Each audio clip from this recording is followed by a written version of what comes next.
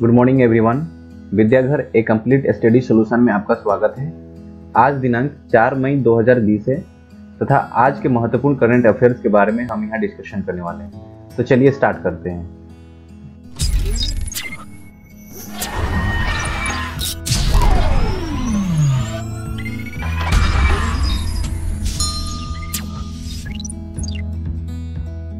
तो सबसे पहले नंबर में आता है, हाल ही में वर्ल्ड प्रेस फ्रीडम डे कब मनाया गया है? तो ऑप्शंस दिए गए हैं, एक मई, दो मई, तीन मई, चार मई। तो यहाँ हम लोग का सही उत्तर हो जाएगा। Option number C that is तीन मई। तीन मई को प्रेस की स्वतंत्रता के महत्व के बारे में जागरूकता बढ़ाने के लिए हर साल तीन मई को वर्ल्ड प्रेस फ्रीडम डे मनाया जाता है। इस बार वर्ल्ड प्रेस फ्रीडम डे में नॉर्वे टॉप पर रहा तथा हमारा देश भारत 142वें नंबर पर रहा। ये क्वेश्चन बहुत इंपॉर्टेंट है। तो चलिए चलते हैं नेक्स्ट क्वेश्चन की ओर। क्वेश्चन नंबर दो।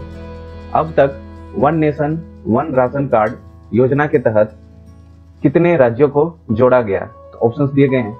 बारह, तेरह, सोलह, सत्रह। तो यहाँ ऑप्शन नंबर डी सत्रह सही हो जाएगा।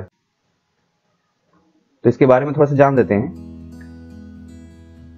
हाल ही में one day, one ration card योजना के तहत पाँच नए राज्यों को जोड़ा गया है।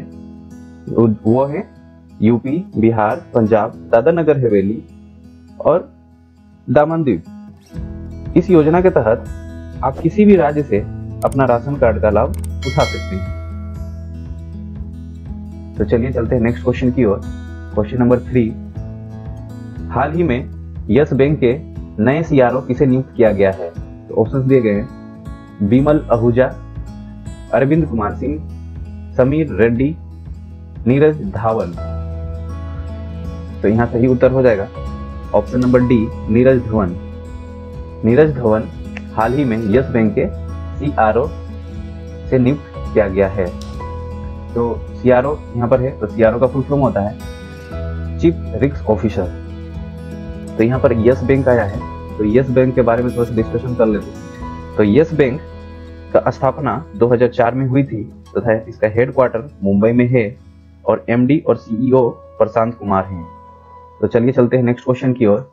नेक्स्ट क्वेश्चन है, हाल ही में जम्मू कश्मीर को किस चीज़ के लिए जीआई टैग दिया गया? ये बहुत इंपॉर्टेंट क्वेश्चन है। तो ऑप्शंस दिए गए हैं ब्लैक राइस बी नंबर केसर, टेराकोटा, इनमें से कोई नहीं। तो यहाँ सही उत्तर हो जाएगा।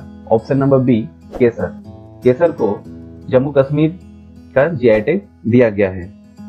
तो यहाँ पर एक है ब्लैक राइस ब्लैक राइस इसके बारे में जानते हैं। मणिपुर को ब्लैक राइस के लिए टैग दिया गया है तथा गोरखपुर को टेराकोटा टेराकोटा के लिए टैग मिला है। तो ये बहुत ही अच्छा क्वेश्चन था। तो चलिए नेक्स्ट क्वेश्चन की ओर। हाल ही में किसने कहा कि न्यूजीलैंड अब पूरी तरीके से कोरोना मुक्त हो गया है? Option Jacinda Ardern Ross Taylor Stephen Fleming इनमें से कोई नहीं। इसका सही उत्तर हो जाएगा। Option number A Jacinda Ardern question number A option number A Jacinda Ardern ये प्राइम मिनिस्टर भी हैं न्यूजीलैंड के तो ये बहुत ही महत्वपूर्ण क्वेश्चन है। तो चलिए नेक्स्ट क्वेश्चन की ओर। क्वेश्चन नंबर सिक्स हाल ही में किसने कहा कि कोविड 19 के कारण विश्व की अधिक श्रमिक आबादी अपनी आजीविका खो देगी। ऑप्शंस, आईएलओ, वर्ल्ड बैंक, संयुक्त राष्ट्र, इनमें से कोई नहीं। तो इसका सही उत्तर हो जाएगा option number A, ILO.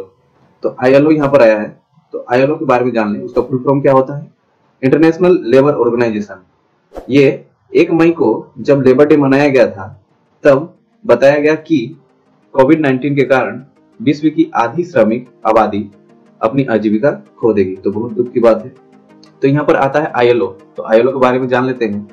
ILO की स्थापना 1919 में हुई थी तथा इसके हेडक्वार्टर जेनेवा में है और इनके हेड जो है वो गाय राइडर है। तो चलिए चलते हैं नेक्स्ट क्वेश्चन की ओर।